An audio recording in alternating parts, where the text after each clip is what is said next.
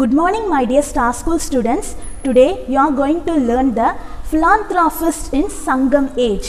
Philanthropist அப்படின்னா க வள்ளல்கள் அப்படின்னு சொல்லுவாங்க. நம்ம சங்க காலத்தில் இருக்கக்கூடிய வள்ளல்களை பற்றி தான் நம்ம இன்னைக்கு பார்க்க போகிறோம் தே ஆர் கால்டஸ் கடையேழு வள்ளல்கள். அவங்கள என்னன்னு சொல்லுவாங்க அப்படின்னா கடையேழு வள்ளல்கள் are feudal lords philanthropist of Sangam age சங்க காலத்தில் இருக்கக்கூடிய வள்ளல்களை பற்றி தான் நாம் இன்னைக்கு பார்க்க போகிறோம் Geetha and her grandpa are on a trip during summer holidays. They are on their way to Kodaikanal, the hill station in Tamil Nadu. This is the first time that Geeta is traveling up a steep hill in a bus. கீதாவும் அவளோட தாத்தாவும் கோடைக்கால விடுமுறையில் ஒரு trip போகிறாங்க எங்கே போகிறாங்க அப்படின்னா கொடைக்கானல் ஒரு மலை பிரதேசத்துக்கு போகிறாங்க இதுதான் வந்து கீதா வந்து ஒரு மலைக்கு மலை பிரதேசத்தில் பஸ்ஸில் போகிறது இதுதான் first time grandpa how did people come to these hills before buses and cars were used Geetha கேட்குறா நம்ம வந்து இப்போ காரு இல்லை பஸ்ஸில் போகிறோம் முன்னாடி வந்து இருந்த மக்கள்லாம் எப்படி போவாங்க அப்படின்னு கேட்குறா they would have used horses and donkeys to climb up the hill அவங்க வந்து மலைக்கு ஏறுறதுக்கு குதிரைகளையும் கழுதையும் யூஸ் பண்ணியிருப்பாங்க who ruled these regions Geetha என்ன கேட்குறா இந்த இடங்களெல்லாம் யார் வந்து ஆட்சி செஞ்சா அப்படின்னு கேட்குறா இந்த Sangam age many philanthropist ruled the hilly region but seven of them were very famous அவர் தாத்தா என்ன சொல்கிறாரு சங்க காலத்தில் நிறைய வள்ளல்கள் வந்து இந்த மலை பிரதேசங்களை ஆட்சி செஞ்சாங்க. அதில் ஏழு பேர் மட்டும் ரொம்ப வந்து புகழ் வாய்ந்து இருந்தாங்க.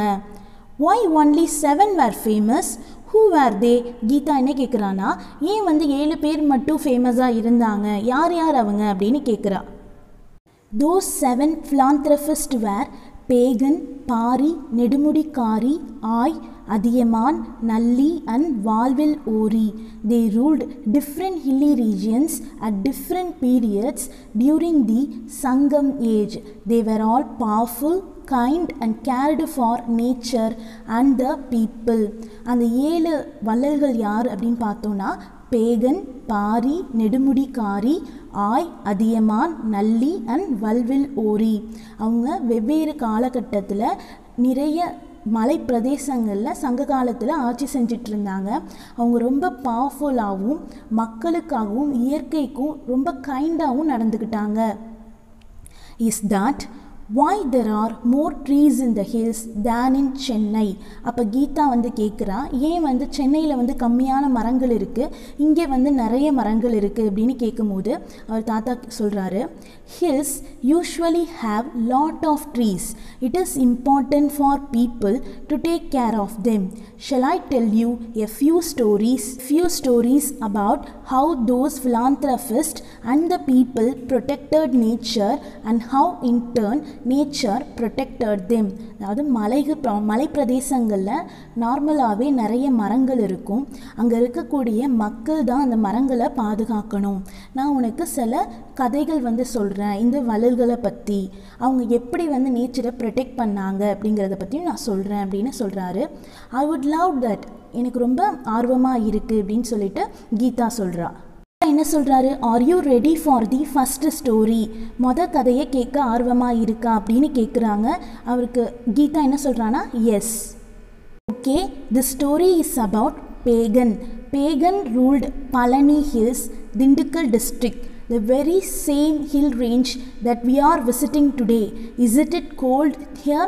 அதாவது நான் மொதல் ஸ்டோரியை சொல்கிறேன் யாரை பற்றினது அப்படின்னா பேகன் பேகன் அப்படிங்கிறவர் பழனியில் இருக்கக்கூடிய பழனி ஹில்ஸை வந்து ரூல் பண்ணிகிட்டு இருந்தாங்க அது எங்கே இருக்குது அப்படின்னா திண்டுக்கல் டிஸ்ட்ரிக்டில் இருக்குது நம்ம இருக்கக்கூடிய இதே ஹில் ரேஞ்சை தான் நம்ம விசிட் பண்ணிகிட்ருக்கோம் இல்லையா? இங்கே தான் வந்து அவங்க ஆட்சி பண்ணிகிட்டு இருந்தாங்க இங்கே ரொம்ப கோல்டாக இருக்குது அப்படின்னு சொல்கிறாங்க எஸ் கிராண்ட்பா தட்ஸ் வாய் அம்மா has packed sweaters for us இப்போ கிராண்ட்பா சொல்கிறாரு correct one day while Pegan was on his walk he saw a peacock shivering he assumed that the peacock was shivering due to cold and he covered the peacock with shawl அப்போ என்ன சொல்கிறாங்க அந்த கீதா என்ன சொன்னா அப்படின்னா ஆமாம் இங்கே ரொம்ப கூல்டாக இருக்கணுங்கிறது இருக்குங்கிறதுக்காக தான் என்னோடய அம்மா வந்து எனக்கு ஸ்வெட்டர் வந்து கொடுத்து அனுப்பியிருக்காங்க அப்படின்னு சொல்கிறாங்க அதுக்கு அந்த தாத்தா என்ன சொல்கிறாரு ஆமாம் பேகன் வந்து வா- அவர் நடந்து போயிட்டுருக்கும் போது ஒரு பீகாக் மயில் வந்து என்ன ஆச்சு அப்படின்னா ரொம்ப குளிர்னால நடுங்கிக்கிட்டு இருந்துதான்.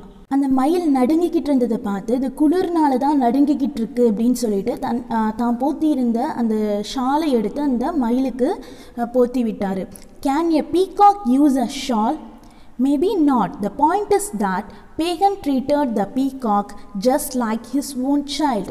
How many people now nowadays show such kindness towards animal? மயில் என்ன ஷால் யூஸ் பண்ணுமா அப்படின்னு கீதா கேட்டதுக்கு தாத்தா என்ன சொல்கிறாரு பாயிண்ட் வந்து அது கிடையாது. இந்த இடத்துல பேகன் வந்து அந்த மயிலை கூட தன்னோட சொந்த குழந்தை மாதிரி ட்ரீட் பண்ணி அவ அந்த மயிலுக்கு தன்னோட போர்வையை போத்தி விட்டார் இல்லையா? அதுதான் வந்து இந்த இடத்துல விஷயம்.